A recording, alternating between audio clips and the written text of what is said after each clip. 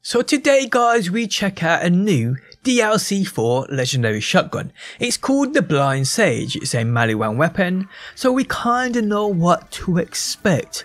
But is this new Legendary actually any good? How's it going guys, my name's DPJ and if you enjoy your stay here and would like to show your support you can by hitting that like button. Also subscribe if you like what you see and want to see more. And before we go any further guys, for all your gaming needs, no matter the platform you play on, at amazing prices and incredible weekly deals, check out G2A, linked within that video description.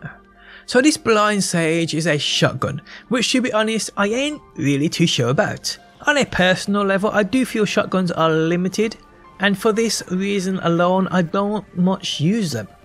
I mean, there's that odd time when they release them with DLCs or events, and you get that one that is just stupid overpowered, like the Anarchy. But overall, I'd probably say they are my least used weapon.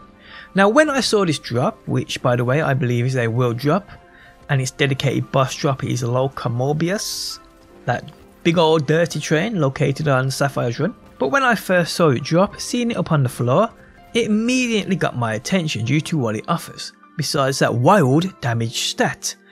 Damaging an enemy applies a debuff to that enemy, which lasts 8 seconds. Kill the enemy before 8 seconds is up and it fires a projectile. This got my attention straight away. Weapons that benefit from buffs and debuffs for some reason grabbed my attention. So I jumped straight into the Cistern of Slaughter to see what this thing was capable of. And well, I'm still not sure about it. Watching how it works, it doesn't actually seem to shoot anything but an energy blast and we've seen this on previous Maliwan shotguns. A blast which sometimes does great damage, and other times just tickles that enemy. Now the debuffed enemy and that projectile, I can tell you does some great damage. But other than that, I wouldn't, if I'm honest, rate this shotgun that high. Now I play a particular way, using mainly Zane, and this just doesn't fit what I look for in weapons, especially shotguns. But it might be different for you, you may be watching this video seeing something great about this weapon that will fit your build. And I actually think this is that kind of weapon. I think it's a kind of weapon where you're either going to love it or hate it.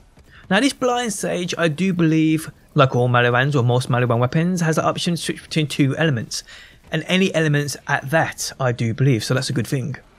But yeah guys, all in all, for me, just isn't that great of a weapon for the way I play. Its damage is slacking, considering its damage stat value on that item card, and using it to be dependent on that debuff projectiles just isn't worth it in my opinion.